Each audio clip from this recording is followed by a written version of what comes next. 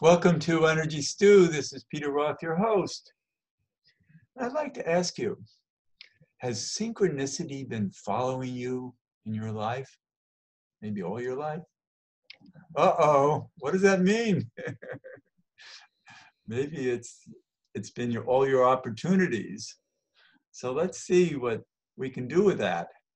And we're going to talk to a man who has lived synchronistically all his life and has written a book about it called God and Love on Route 80 The Hidden Mystery of Human Connectedness. I guess when we're connected, we can be synchronistic. So, to help us understand that better, is the author of God and Love on Route 80, Stephen Post. Stephen, welcome to Energy Stew. Thank you, Peter. It's a delight to be with you. And also, you're known as the boy. Yes. You're a little older than that, but obviously uh, that's only in time. right, which is a hard category to figure out. right, but you, the boy in you is the the innocent nature that allows synchronicity to work. Okay. Because you're, it's the, as you say in your book, which is an incredible book. I want everybody to just really understand that I'm very excited about having read it and and the deep meanings in it. And and so what it is to be an innocent boy is to be open to inner awareness and to allow and what, what you call and what many of us know as the infinite mind to do its work.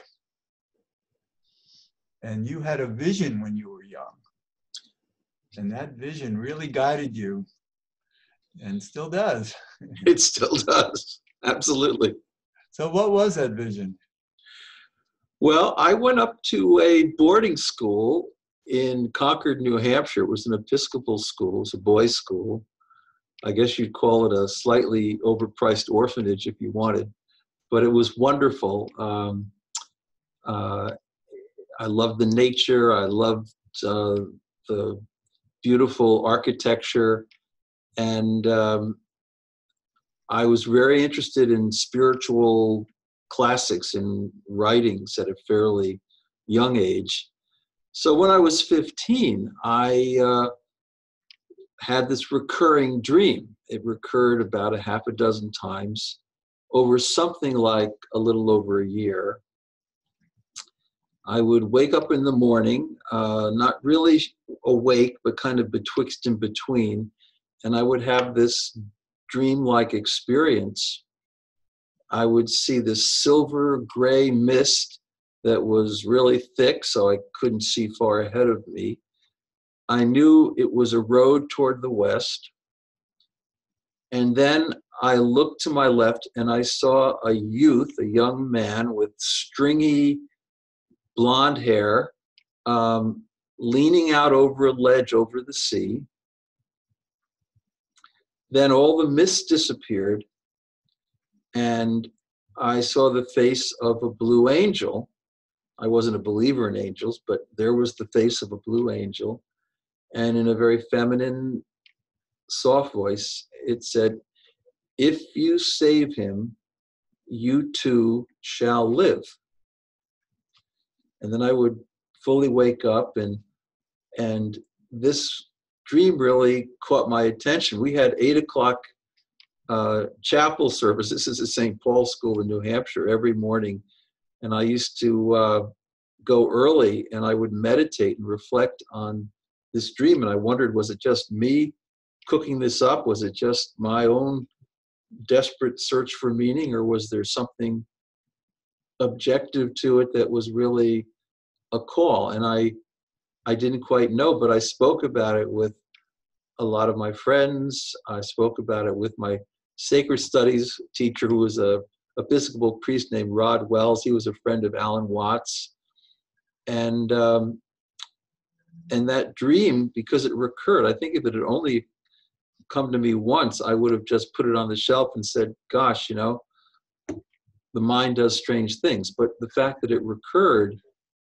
uh, and with the same kind of vivid accuracy uh, a half a dozen times really really struck me and it struck rod too so he was a yale divinity school grad and he he, he took me to yale uh, to do this class with the masters of divinity students there are people studying for ministry and, and you were only a high school student at the time right yeah i was a high school student i was i was 16 at the time and the teacher there, James Dittes, Jim Dittes was a very famous Jungian uh, psychologist, and he really was interested in adolescent spirituality. He didn't write it off. He thought that sometimes it could be very powerful.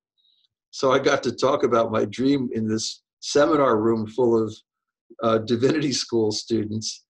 And, uh, you know, they actually got a little worried because they said, well, what did the dream make you do? What, how did you respond to it? I said, well, among other things, I applied to Reed College in Oregon, and no one from St. Paul's ever applied to Reed College, but I, I did, and, and, and I said, we all read Emerson up there in, in, in Concord, uh, but I was the only one who actually believed in the Oversoul. And we had these beautiful conversations about it. Um, I won't go into the depth of it, but but it was a very formative experience. And then when we drove back that night, you know, north to Concord, I just felt like somehow um, teaching the dream was was was going to be part of my life's work. Uh huh. And it became that way. but you had no idea. And at that point, as I know from your book, you actually didn't follow a direct path. You actually stole off in a stolen car, basically. It was your father's car, but he didn't know you were taking it.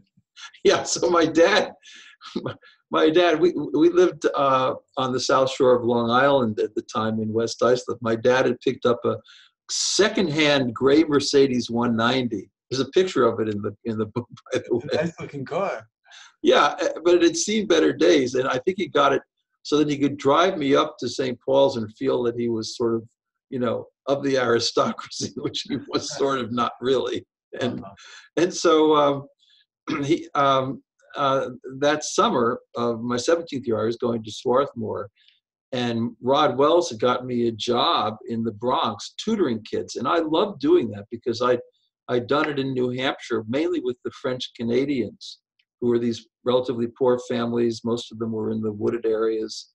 And I just really was impressed by, by, by those people and being able to work with them. So I was headed for the Bronx, and my mom decided that the Bronx was too dangerous at the time. And uh, we argued about this for at least you know two or three days, and uh, it got pretty serious, pretty heated. And finally, uh, um, my mom said, Well, I'm not going to cover Swarthmore if you insist on this. So I relented. And I said, Now, what am I going to do this summer? And my dad, he was actually the president of a furniture store that no longer exists. It was on Fifth Avenue across from the old Scribner's bookstore area. It's called W and J Sloane's. It's a well-known kind of artsy store. He knew all the uh, manufacturers around Greater New York lamps, chairs, tables, whatever. And so he he sat there and he said, you know, I can get you a job in Bill DeBono's lampshade factory. And in Patchogue, there was a factory. Uh, it had seen better days as well. And I worked there for two weeks. I drove the gray Mercedes 190 to work. It was about a half an hour, 45 minute drive. Uh, my folks had their own car, which they, they, they used. And I worked uh, in this sweltering hot weather because there was no air conditioning between two very, very large, I say this with, with, with respect, Italian women. Uh, and I cut cardboard. I just cut cardboard hour after hour after hour. And Bill DeBono would walk by with his big cigar and he'd make sure that we were doing the right work. Um, and so after two weeks, I was finished with the factory.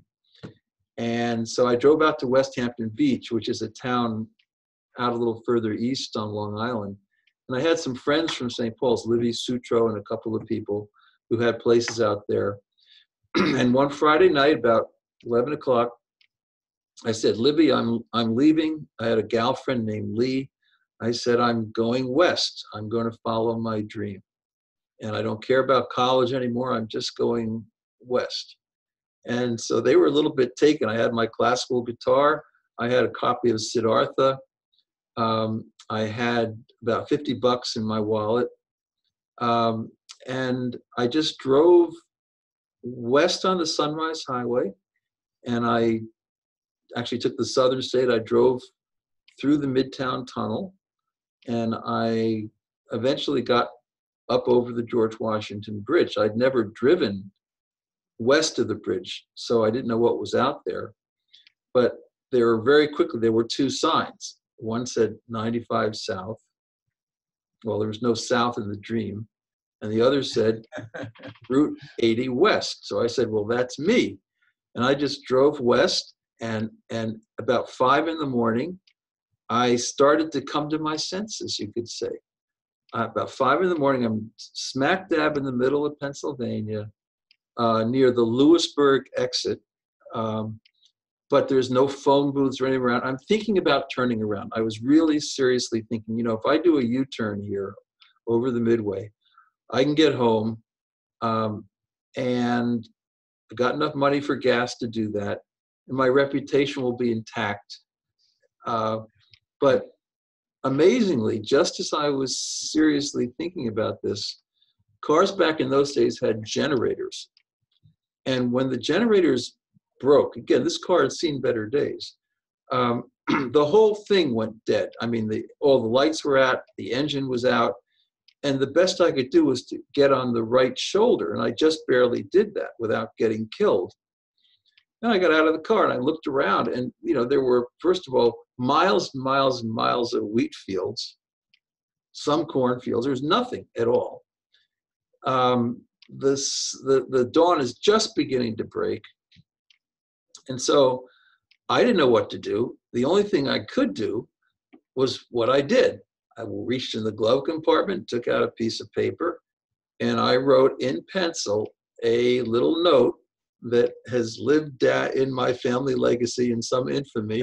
and it said, to the Pennsylvania State Police, please return this car to Henry A.V. Post, 44 Davison Lane East, West Islip, New York, 516-669-5655 from his son who no longer works in the lampshade factory.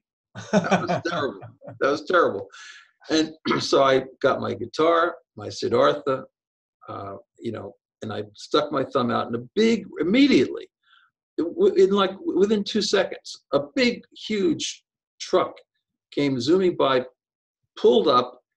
A guy flung open the white door and he said, Where are you going? I said, West. He said, Well, I can get you to Chicago. My name's Gary. He was dressing in country and western. And uh, we had a really delightful trip. Uh, uh, we got He actually dropped me off at Grant Park in downtown Chicago. And, um, and I was off. And I always thought that when the car broke down like that, you know, it was a message from the universe that I was really supposed to take this trip to the West, you know. it's, it's so interesting to me because your book talks about what happened in Chicago, and it was fascinating the opportunities that you had, and eh, only for a while because you wanted to keep going west. Well, that was great. I mean, actually, it was kind of a kind of a protest period. So there were a lot of people around Grant Park. Grant Park's out near the the Chicago Art Institute, and I was playing Villalobos and Granados and Tárrega on my classical guitar. I was making a pretty good amount of money. Uh, and I fell in with a van full of hippies who were camping out there. And I said, So where are you going? They said, Well, San Francisco. And I said, Well, that's west, so I'll go with you if it's okay. and they said, Fine. The amazing thing was that we got to uh, Nebraska. Now, Route 80 you know, goes from the George Washington Bridge all the way to San Francisco. And um, it goes through Nebraska. We go through Omaha. And then we got to Lincoln, Nebraska, and there was uh, a spate of phone booths on the right. There was a stop area. One of the gals in the in the van said to me, "You know, you really ought to call your mom." So I said, "All right, I'll call my mom." So we got out, and I called collect. And uh, my mom, she said, Stevie, thank God you're alive. We can call off the Pinkertons. and I said, verbatim, Mom, why did you call the Pinkertons? Didn't you get my note? and she said, actually, they had gotten a call from the Pennsylvania State Police. And they had had the car towed and it was in a garage on Long Island and and and they and my mom said, you know, we really should have let you tutor in the Bronx, and I said, I think so too. It would have been fine. But I said, Mom, maybe this all worked out because that car has seen better days, and maybe the generator would have let go, and you and Dad would have been driving, and you'd have been seriously injured. But with me, I got it on the right shoulder. And so she said, Well, now where are you going? And I said, Well, I'm heading out west. And she said, Well, where are you going to stay? And she actually gave me the address of my cousin George Lamont, who had done two tours of duty in the Green Berets. He was a Chapel Hill graduate in Chinese studies, and he was part of that Vietnam vet subculture in the Mission District. Uh-huh. So I got out to George's, 4 Chenery Street, uh, slept on his floor. I knew him just somewhat, and I joined uh, Nichiren Shoshu Nam Myoho Renge Kyo Buddhist temple that was on the corner of Chenery and Market, and I chanted with those beads, and I lost all sense of time and place. And I didn't think I ever needed to go to college because I could just capture universal knowledge somehow intuitively. And I played classical guitar in the Hispanic restaurants, and I did really well. And I had an old uh, Japanese American named Gus, who was like my mentor, and he'd he'd been an intern during the during the war in Hawaii so he was great. But I drew a bad number in the in the draft. They had the bins with your birth dates in them at the time. So I called the people at Reed College, even though I turned them down. And I said, look, uh, I'm not totally against all wars, I suppose, but this is not my kind of war. So they immediately opened up a spot for me. Which kept you out of the of the draft. Kept me out of the draft, and and they were nice enough to do that. And one morning, early September, about seven in the morning, I was in front of the temple and I was with Gus and George. And they gave me, I had to pay some money for it, but they gave me this really special Japanese scroll. It's called a Gohonzon. And it's like, it's about, you know, this long and, and it's got these beautiful Japanese symbols on it that are all spiritual about universal mind uh, and, and, and, and ultimate reality and such things. And um, so they explained that to me, and then I put it in my backpack. I took the Market Street bus, which got me to Golden Gate Park, and I walked across the park, which is, a, you know, it's a good 15, 20 minute walk. And then I, I walked up on the bridge because I'm headed north to Oregon. And it's silvery gray mist. I, I really couldn't see more than about maybe three or four feet in front of my my nose. Uh, and I'm on the left side of the bridge. There's a walkway, it's kind of red walkway, and then there's a there's a railing that's about waist high. Um, and I get to the middle of the bridge, and I hear a little ruffling sound to my left.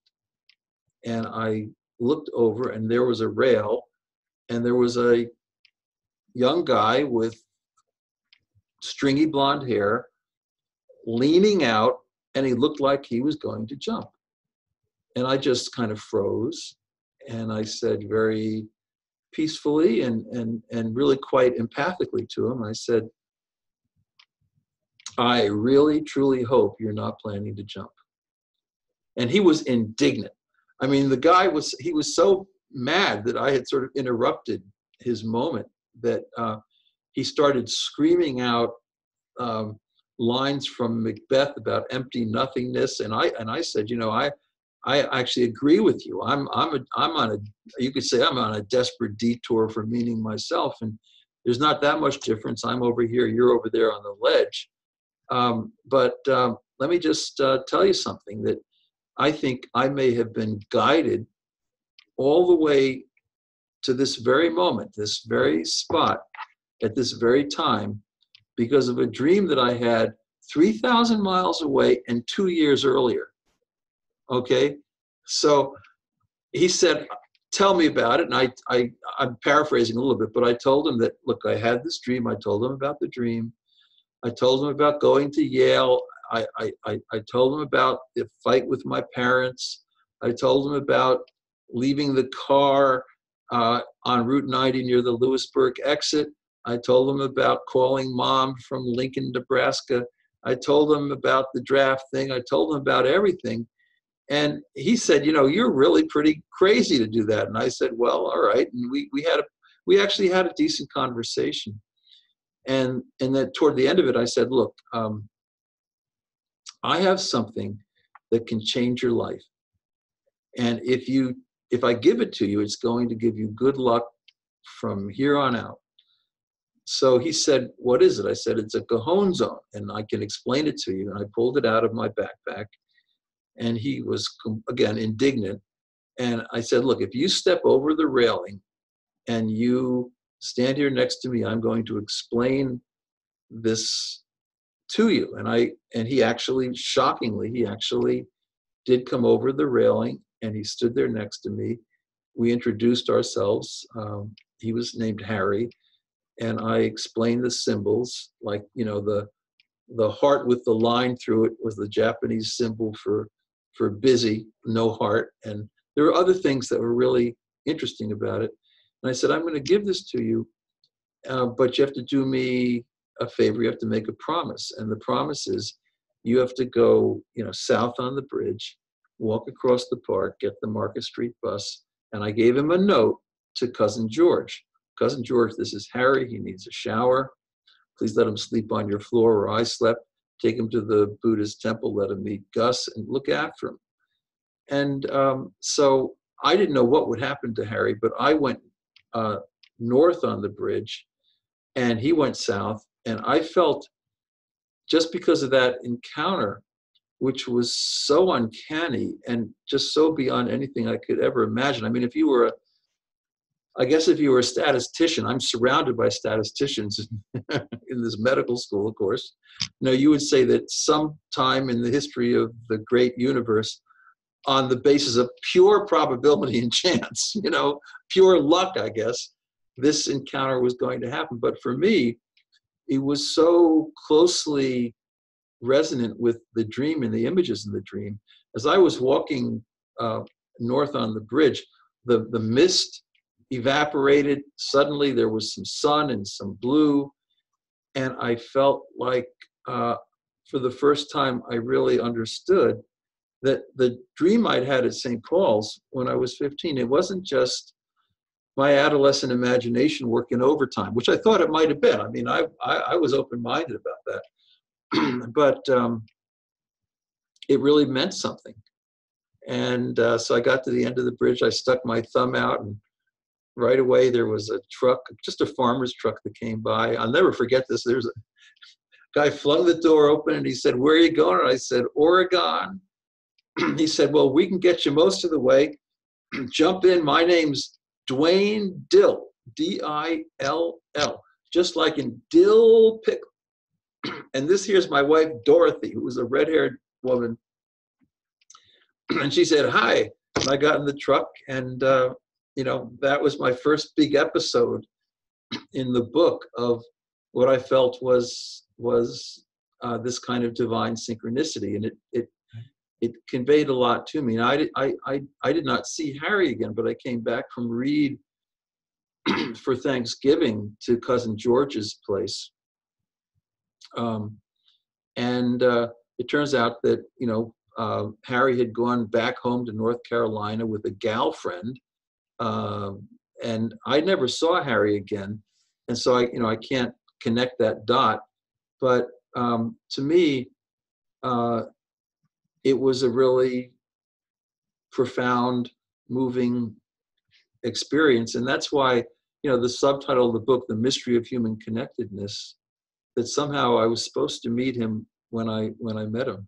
Well, now your life became also uh, a result of that prophecy save him and you too will be saved. So we're really getting to the end of the show. And I want to continue this because it's fascinating. These there's so many stories in your book, and and who you turned into is this incredible humanitarian who is helping to heal the world in powerful ways. And I want to talk more about how synchronistic your life was and, and, I'm sure still is, and how that can help our audience appreciate their own paths and to be also be open to being taken care of in life in ways that we have no idea and can't even imagine how miraculous it can be. Yeah, we're really cherished, and sometimes we we don't notice it. Larry Dossey wrote a foreword to what to God and Love on Route 80, and he uses the word noticer. You need to notice the, these these aware, right? Watch the ser- the serendipity and synchronicity happening. And yeah. I've become a great witness of that. That's why I'm so fascinated about your journey because it really speaks to me, and I'm sure a lot to our audience. So um, hopefully, we'll do another show soon. Uh, your book is God and Love on Route 80 Stephen Post, S T E P H E N, uh, The Hidden Mystery of Human Connectedness. And is there a website? Yeah, the best website's really uh, Stephen with a PH, gpost.com. But there's also an institute that I founded with Sir John Templeton, which is a whole synchronicity in itself, called unlimitedloveinstitute.org. Great. And we're going to talk a lot more about unlimited unlimited love yeah. coming up. So Stephen, thanks so much for being a guest on Energy Stew. Thank you, Peter, and thanks to all your listeners. Appreciate it greatly. Well, I'm so glad they're there. Yeah. And this is Peter Roth, your host of Energy Stew at prn.fm. I can be reached at peter at heartriver, H-E-A-R-T river.org. I'd love to hear from you and thanks so much for listening.